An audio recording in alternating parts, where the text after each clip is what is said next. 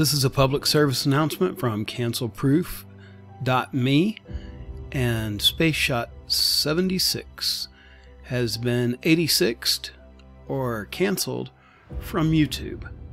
Again, this is just a public service announcement. If you'll look in the description of this video, no matter where you see it, you can find links to Space Shot 76 alternative channels.